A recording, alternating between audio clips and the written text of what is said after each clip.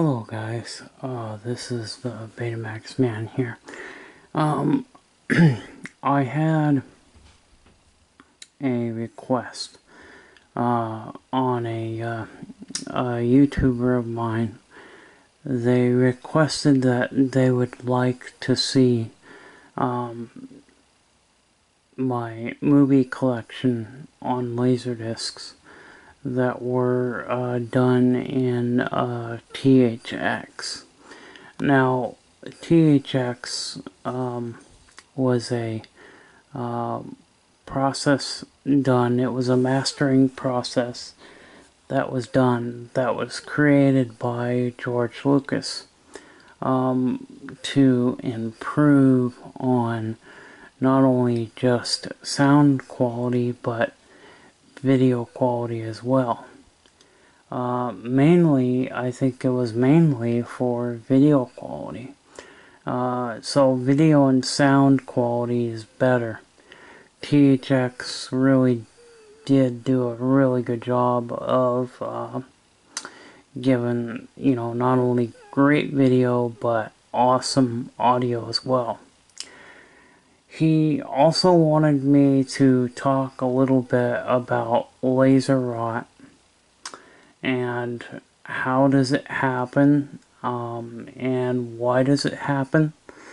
Uh, so we're going to discuss those as well. So why don't we take a look uh, at my THX uh, Laserdisc uh, movie titles that I have. Now, there may be other titles uh, that I have that may have the THX logo on them. Uh, I found all the ones that I, I think I've found every one that I have that has the THX. Usually, um, if the THX logo is not printed somewhere on the laser disc, then your disc does not have THX.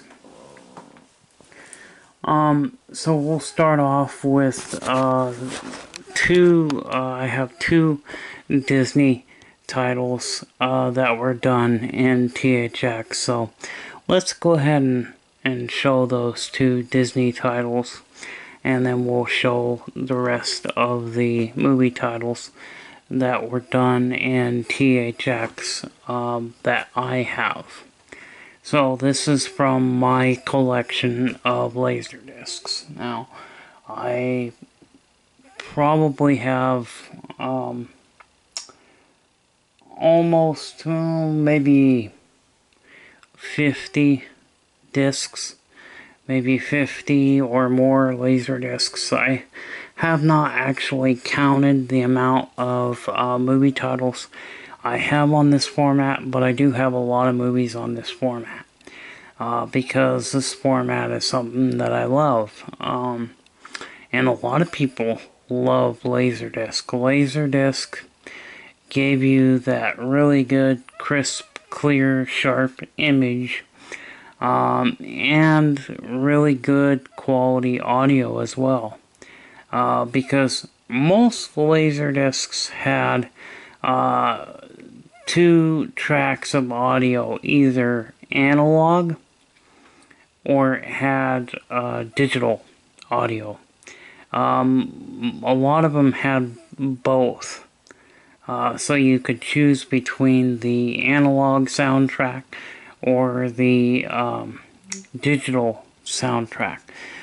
Typically, the digital soundtracks tended to sound better than the analog uh, stereo soundtracks. Now they had AC3 audio and stuff. I mean, they just had a lot of great, great, you know, stuff uh, that Laserdiscs have.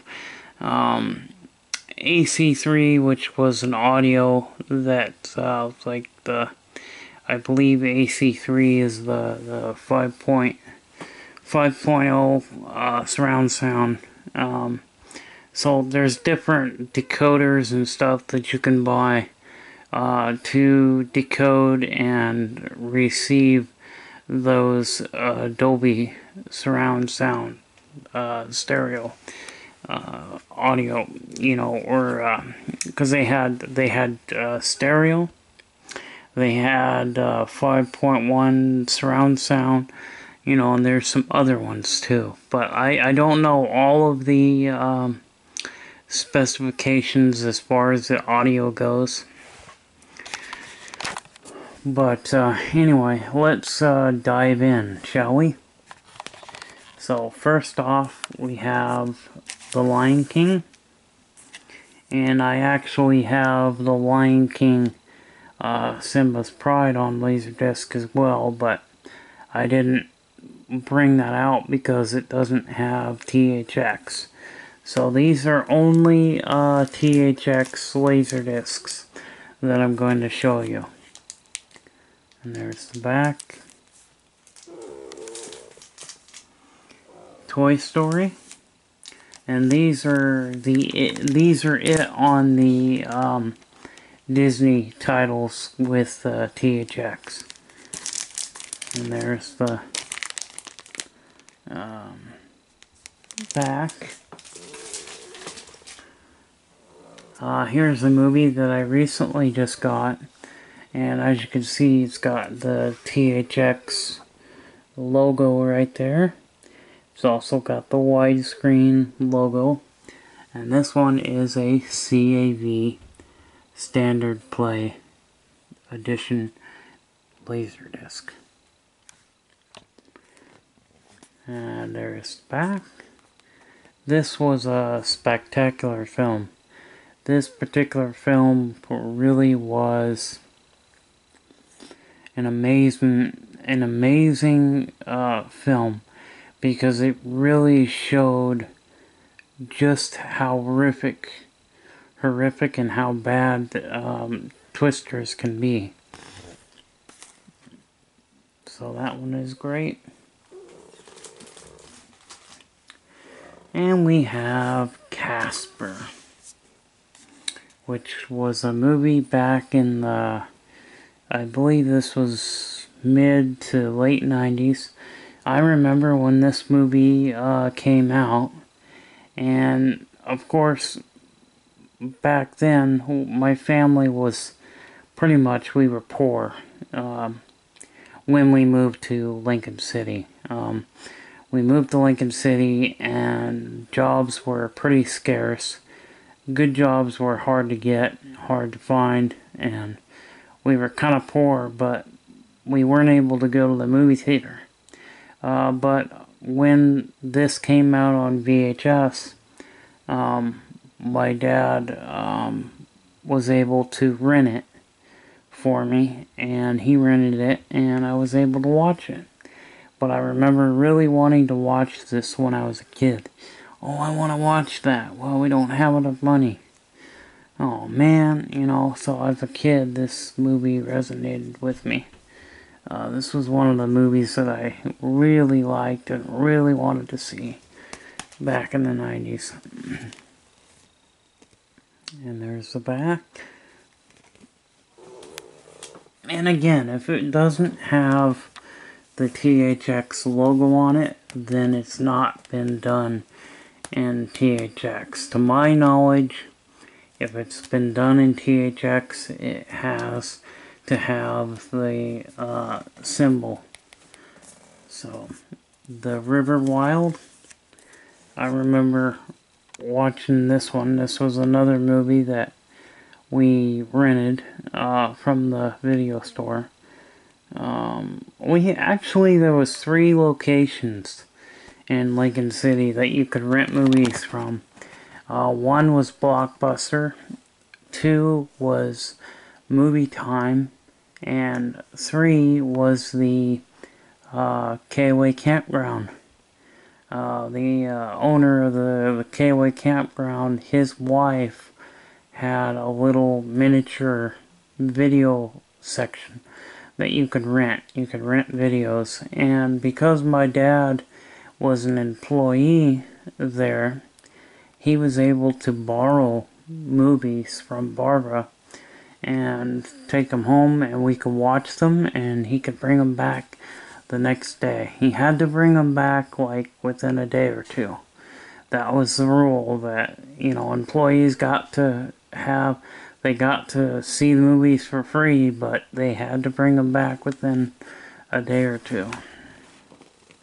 And I think this was one of the movies on VHS that we watched, that I watched, that we, we got it from the KOA, where my dad borrowed it. Here's the back.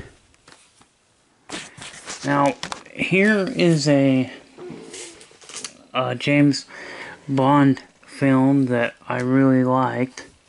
Now, I actually just purchased. Now, this was the, uh, this is the widescreen edition. This is the letterboxed edition. And I just recently bought the pan and scan version of this.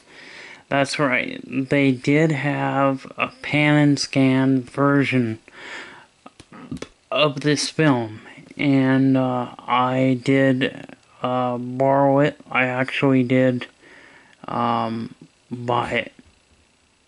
So, um, I have that. That will be coming in the mail. So we will take a look at it when it comes in the mail. But this is the widescreen edition of it, and then in the mail we'll have full screen. So this is GoldenEye, which was from 19. Uh, I believe it came out in theaters in 94, and then 95 it came out on video. And there's the back, and of course this one has been done in THX.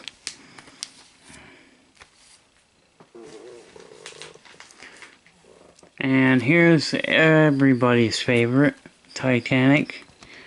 This was also done in THX. There's the back. As you can see the THX logo right there. Uh, they did a lot of CGI uh, graphics that were done in this film. This film was about a three hour film and it was it was a long long movie but it was a good one I actually really liked this movie a lot and so I had to have it on Laserdisc. Now this is the widescreen edition and I am currently looking for the full screen version. Yes they did have a pan and scan version of Titanic on Laserdisc. We're all familiar with the pan and scan VHSs uh, of this movie, but there were uh, pan and scan uh, laserdisc of this. So if you wanted the full screen version, uh, you'll have to hunt for it because I've been searching for a couple years now uh, for this one, uh, the full screen version. Have not found it. I think I found it once, but when I got the money together to buy it, it sold. So, uh, believe it or not, there are people out there that prefer the pan and scan versions, and they will pay a high price for the pan and scan versions. Believe it or not, uh, there are a lot of people out there, including myself, that like the pan and scan. And we have the original 60s Night of the Living Dead, which is a, a THX master process. That was done. And uh, as you can see, it's got the THX logo there. And then there's the back of it.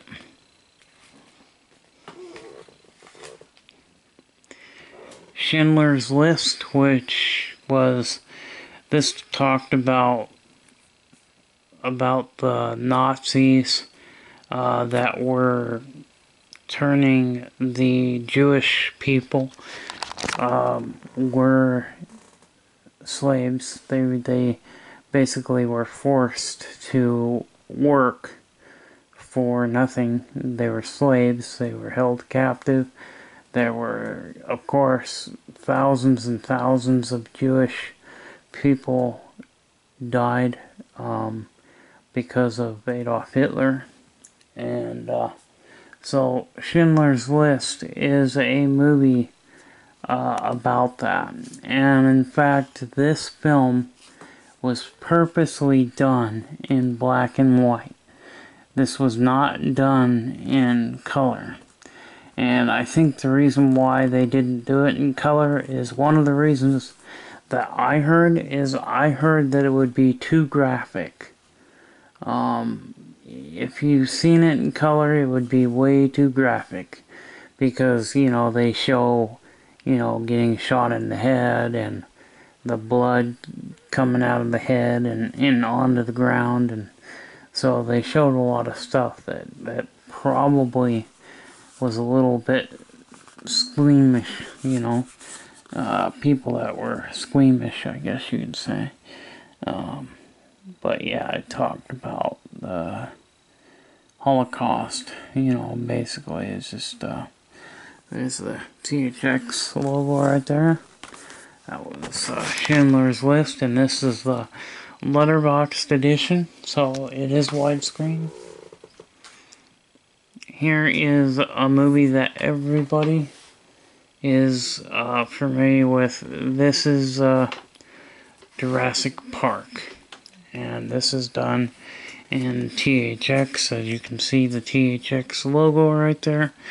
Like I said, if it doesn't have the THX logo on it, uh, it does not have uh, THX.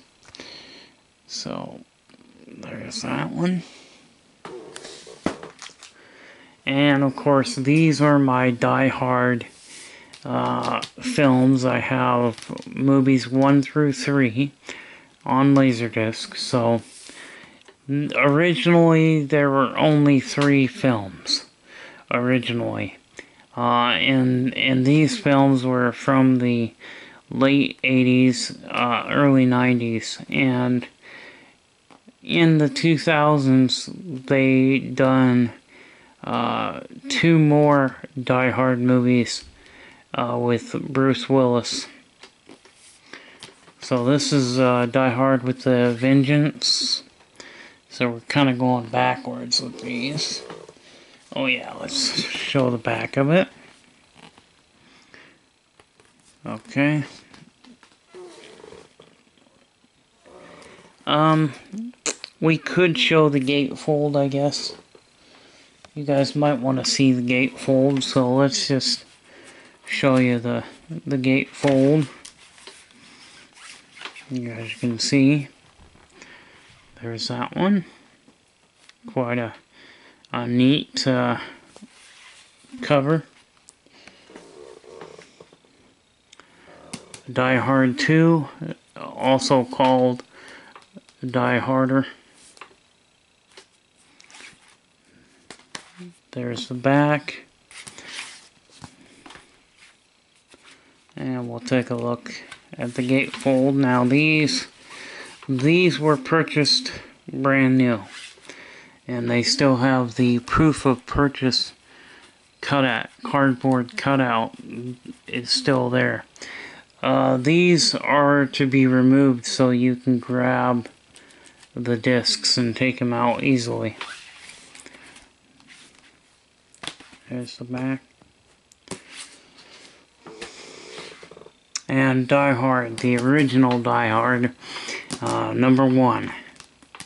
Of course, number one is the original, right? With a THX logo.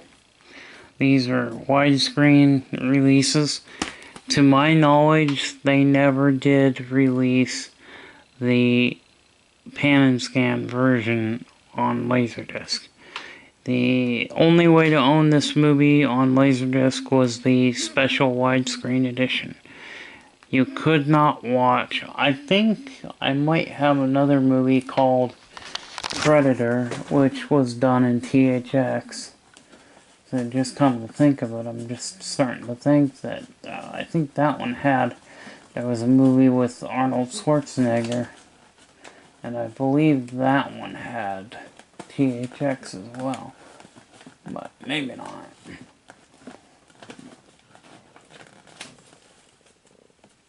Well. Let's see if that if that's the case. It may not have. No, that's not done in THX, so we're not gonna show that, but.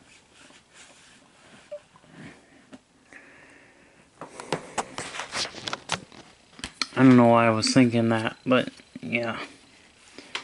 And there is the gatefold. Now, I have this film on uh, Betamax as well. So I, I own the Betamax version. Um, I also was thinking about getting the VHS uh, version of it as well. But I'm more of a Betamax and Laserdisc guy. And Judgment Day, number two. Terminator 2. This is a THX uh, mastering. This is the uh, special edition. So the special edition is a little bit longer film. The film is a lot longer. And uh, I think it's got an additional 10 or 15 minutes on it. And then there's the back. And they do have, I have both the regular edition and the special edition. And the regular edition probably also has THX.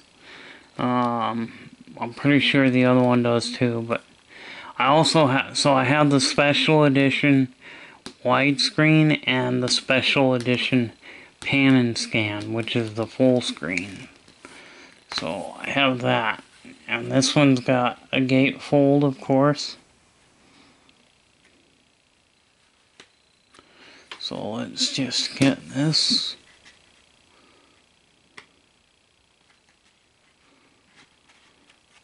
And there's the gatefold. And this one had a little cardboard. Uh, there was a, a sheet of paper that had some writing on it from the uh, director of the film, which is pretty cool. I just recently got the widescreen version of the special edition.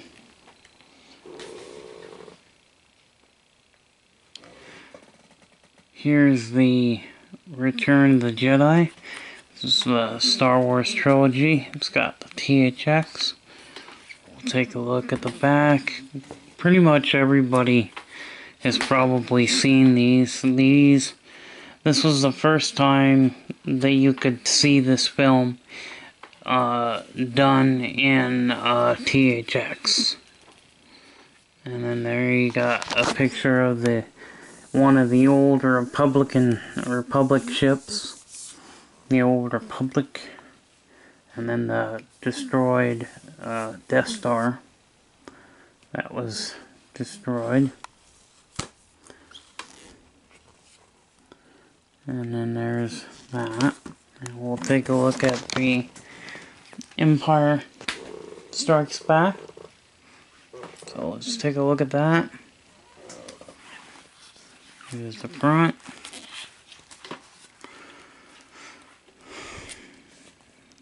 There's the back.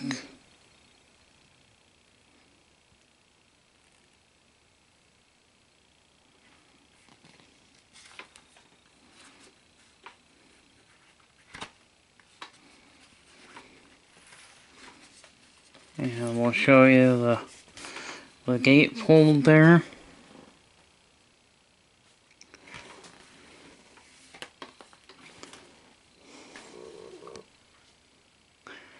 Now we have uh, Star Wars A New Hope. And originally it was just called Star Wars. Originally, uh, the New Ho A New Hope did not uh, be put on to this film until uh, the uh, early 1980s. Uh, the title was put on to the uh, intro before the movie started. And there's that. And I have, I just recently got the Star Wars special edition uh, VHS box set that I just got. That's been done in THX. And then we have finally The Phantom Menace. Episode 1 Star Wars.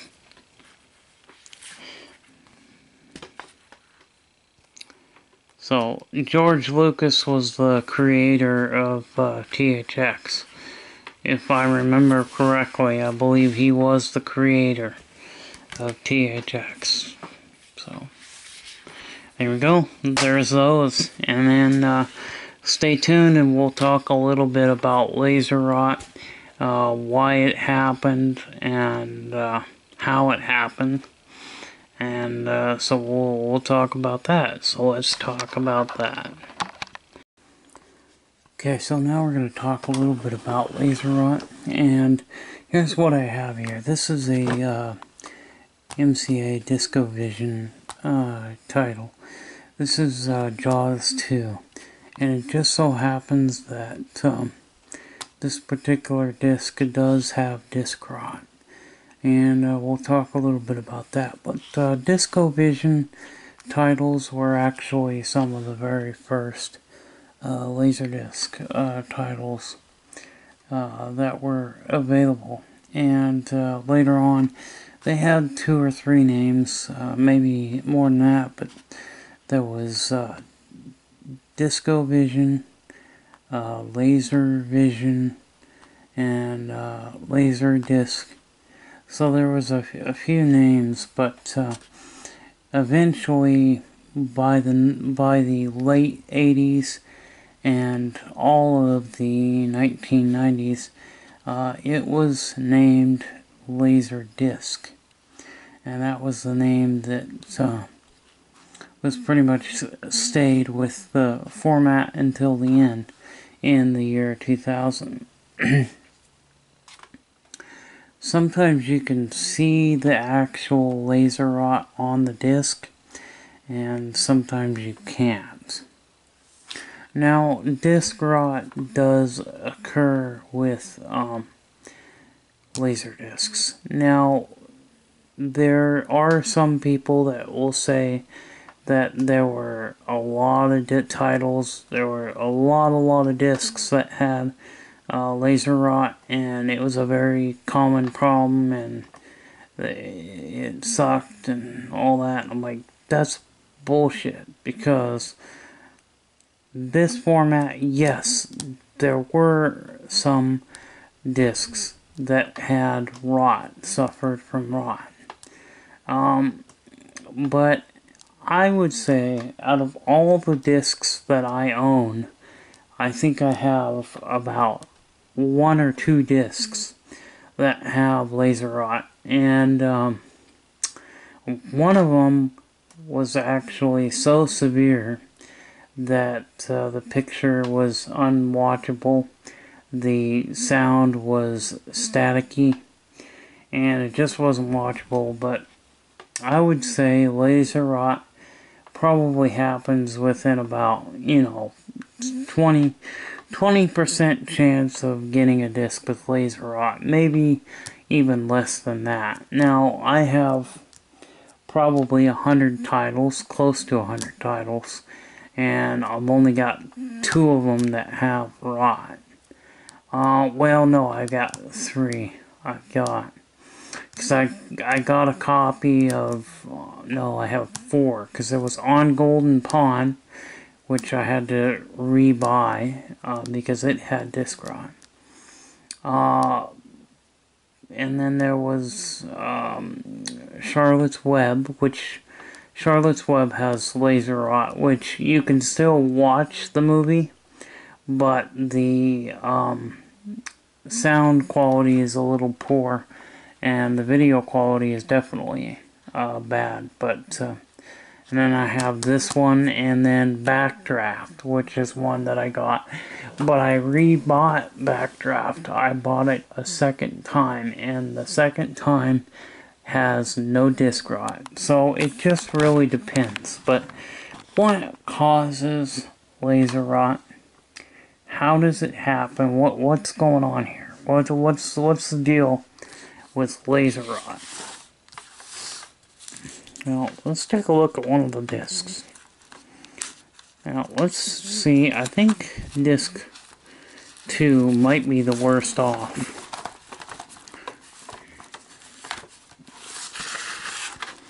So let's pull disc 2 out. And we'll see if we can see any disc rot. Because sometimes you can see the disc rot and sometimes you can't. Um, sometimes there'll be like a little black speck, or you can see dots on the disc.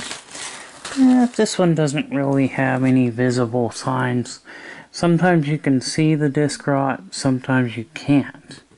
And this one doesn't really have any signs of uh, showing it, um, other than maybe there's a one little speck on there that you can see this little speck. Um, but uh, anyway, so let's go ahead and talk about laser rot. What is laser rot? Well, that is when the laser cannot read, can no longer read the material on the disc.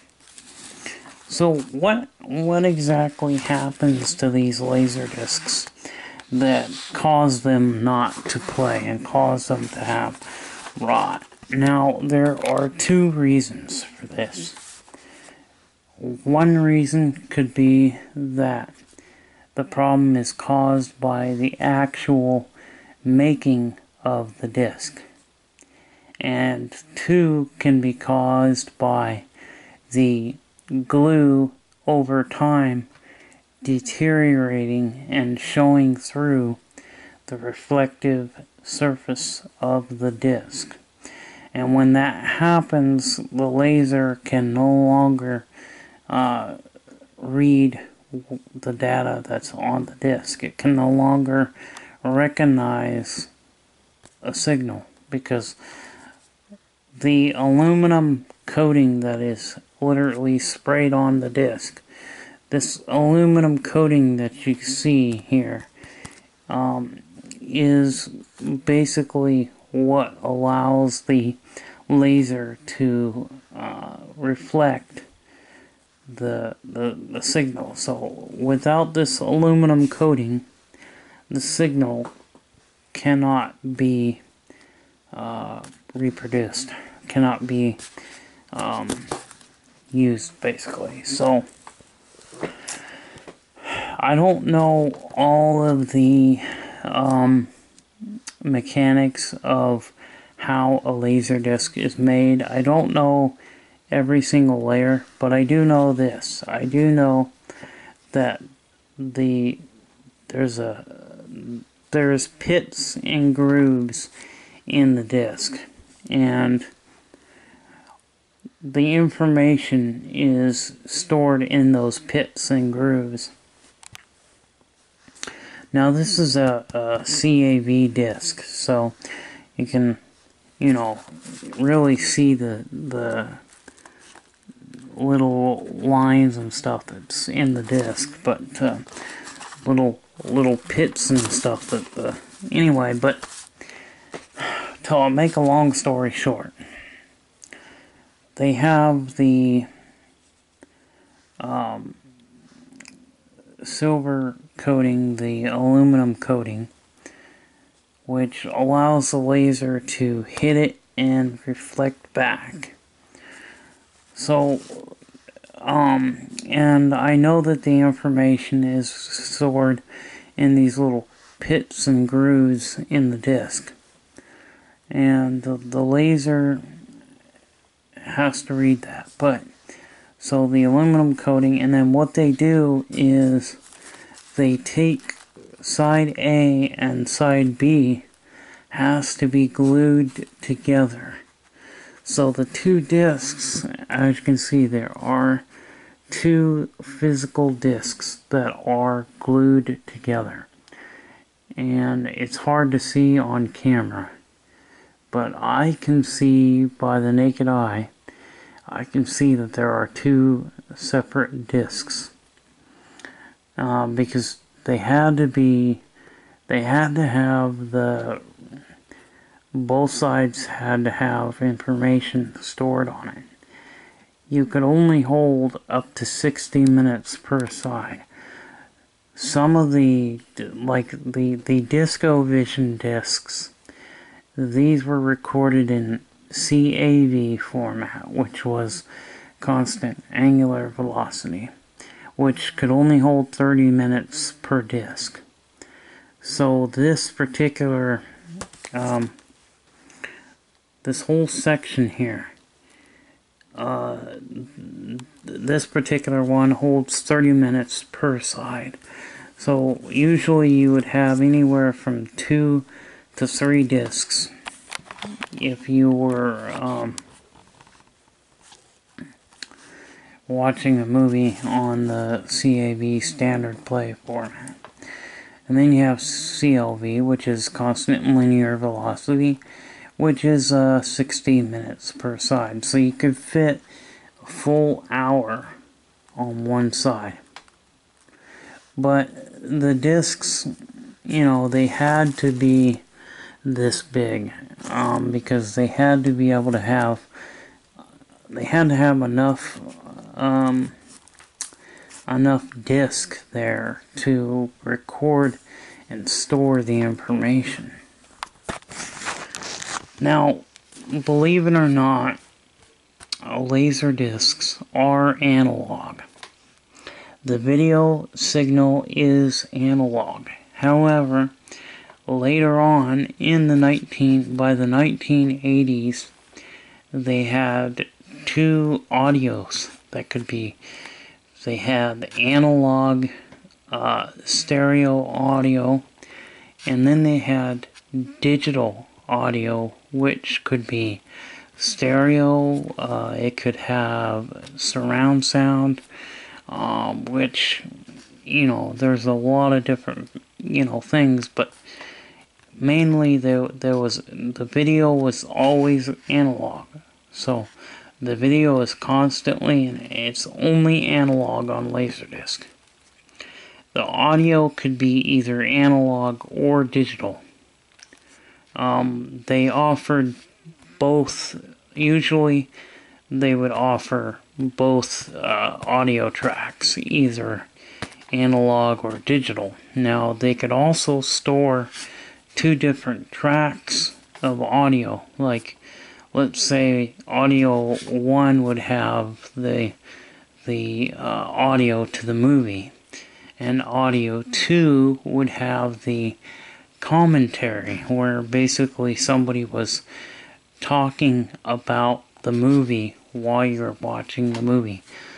But uh, anyway, so we're going to get back to the um, laser rot. This is what I know. When they were spraying on the different um, chemicals in the making process, sometimes there would be dust particles, fine dust or dirt particles that would get in between the layers, uh, the chemical layer that was laid down onto the plastic disc, because the the surface of the disc is plastic. This is a plastic disc. Behind the plastic, you see you've got your aluminum uh, coating, and uh, so anyway, but that dust uh, was called, that was disc rot caused by manufacturing. And basically, the information could not be read by the laser. Then there's the other problem, the problem that happened over time, where the disc has disc rot now, but when it was first made, it didn't have it. It did not have disc rot when it was first made. Well, okay, then that's caused by age has deteriorated the disc and it is no longer and it's got disc rot. So there's disc rot caused by the making and disc rot caused by the aging process that happens to these discs. And no, touching the disc does not hurt the disc. I don't recommend it because you got fingerprints on the disc. But believe it or not, the laser can read the information off the disc even if there's fingerprints on it. Now, on a DVD, uh, DVDs are a lot more sensitive. I can just spot. I just could spot something. There was a spot here. It's not showing up on camera, but I could see the laser rot right in this area. Yeah, sometimes you can see it by like this. It's got like a, a small section that's dull looking, so it's no longer shiny in this particular area. Sometimes you'll see like a little, uh, like a black little dot, you know, like a little speck, and it looks like dirt, but then you wipe it and you realize it's not dirt, it's laser rot. Sometimes you can see laser rot on the discs and and sometimes you can't so. But the aging process that happens is where like I said that glue goes bad and it starts to deteriorate and the glue starts to show come through to the other side of the uh, disc, the aluminum part. And it just, it's kind of hard to explain, but uh, yeah, there's, there's two, two things right there that cause it. Either the making or age. And those are your two causes of disc rot. And I know I've said this now multiple times. Sometimes I do tend to repeat myself and I do apologize for that. I don't I don't mean to repeat uh, myself all the time, but um. Uh, anyway, so yeah, those are your two causes of disc rot. And like I said, I can see right in here, you'll see a dull spot. You see that? Right here where my finger is, you can see it. Even on camera, you should be able to see this. But it's a dull spot. It's dull looking. That's where the glue has deteriorated and start to show through the reflective surface of the disc. I don't think that this disc has rot because of the manufacturing. I think it has rot because of, the, of its age. Now there is that question will your discs eventually not work? That's a possibility.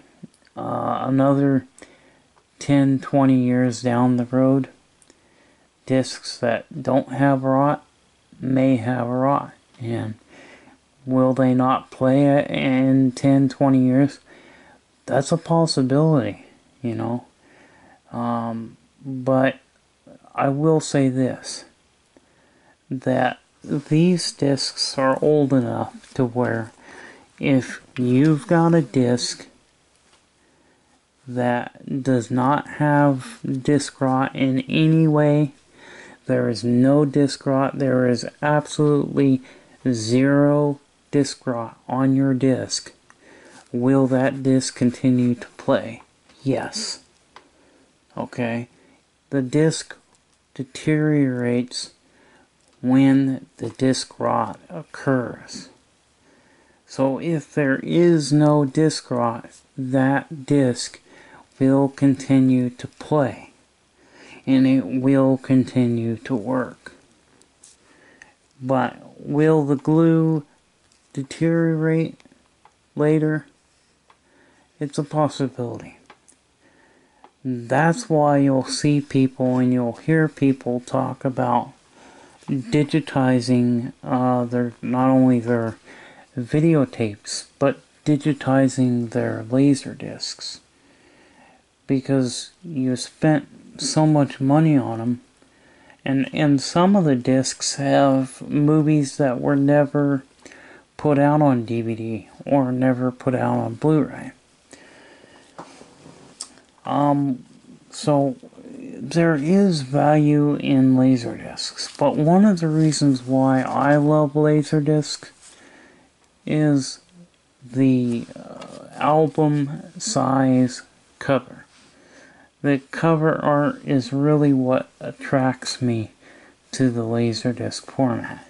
Another thing that attracts me to it is the fact that this is a gigantic 12 inch disc, which is the same exact size as a record. Now, I have laser discs. I also have CEDs, which are basically a vinyl record with video as well as sound. But Laserdisc is definitely one of my favorite formats. You know, in 20 years, will my collection of discs continue to play in 20 years from now? I don't know. Only time will tell. But right now, I'm gonna enjoy these discs as long as I can. I'm gonna enjoy this format as long as I can and as much as I can. I love this format. It's the same way with any other old format, such as Betamax or VHS. Okay, because there's a lot of VHS people out there. I'm not one of them. I am a beta fan. I am a betaphile. Okay? I'm for the beta format. Sorry, my battery died. So I'm a betaphile, you know. I'm a beta guy, and I'm a Laserdisc guy, and I'm a CED guy. My three formats that I have that I love the first format that I love and will continue to love even after it becomes extinct is Betamax. The second, Laserdisc. The third, CED. Those are the three dead formats that I absolutely love and will continue to love for years to come. So don't give up on your collecting laser discs because these discs are cool. They're nostalgic. They they they bring back great memories from not only my childhood but my adulthood as well. One of the other reasons why people get into the laser discs is because we can get the altered, unaltered version trilogy. Star Wars original trilogy unaltered. The original theatrical release that is on Laserdisc that is not on uh, DVD or Blu-ray. If they're on the DVDs and the Blu-rays of the Star Wars original trilogy, they were changed. So if you want to get into this format, because of the fact that you can get the original theatrical version of Star Wars trilogy, do so. That's one of the reasons why I got into this format is because I knew I can get the unaltered original theatrical trilogy of Star Wars. And even the prequel trilogy, George Lucas tampered with. Uh, the Phantom Menace has been messed with. Attack of the Clones, um, Revenge of the Sith. Um, it's they've been tinkered with by George Lucas. Now George felt that he was making good changes. He didn't feel that the changes were bad like we do. But that's one of the main reasons why I got into Laserdisc. But the other reason is, you know, I knew what it was when I was a kid. Like I said, my dad wanted one, but he couldn't afford one. Uh, you know, because my dad knew that these discs had superior picture. These discs have far superior picture and sound quality than conventional home videotape recording systems.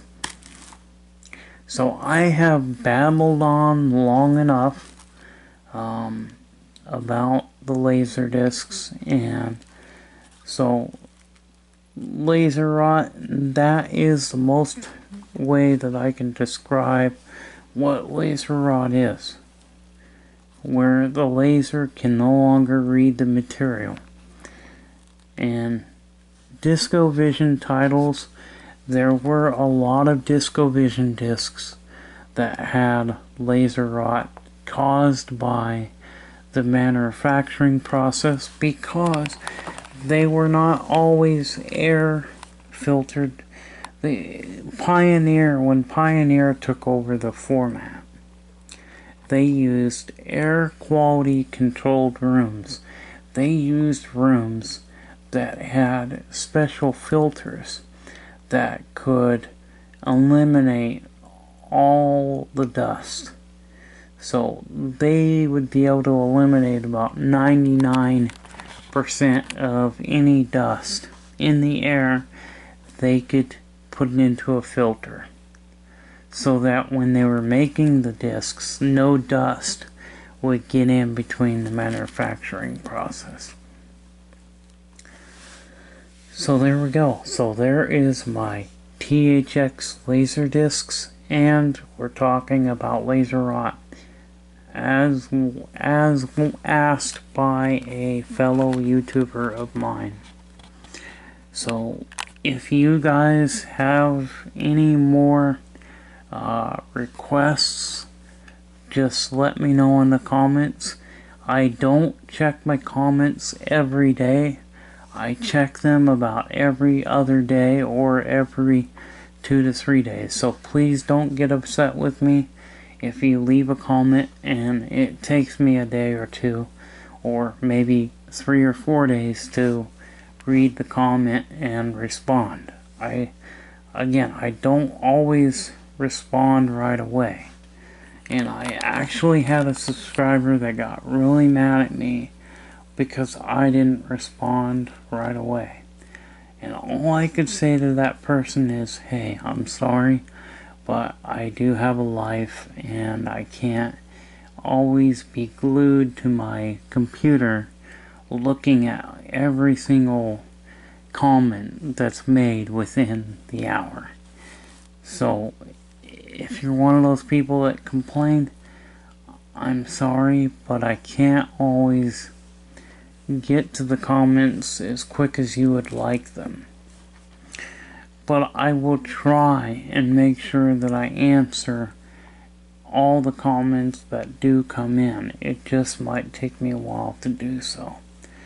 So anyway, that is going to end this video and uh, we'll see you guys in the next video. Bye-bye. And always either be kind and rewind or be kind and watch a laser disc. And yeah, that comment made no sense. See you later. Bye bye.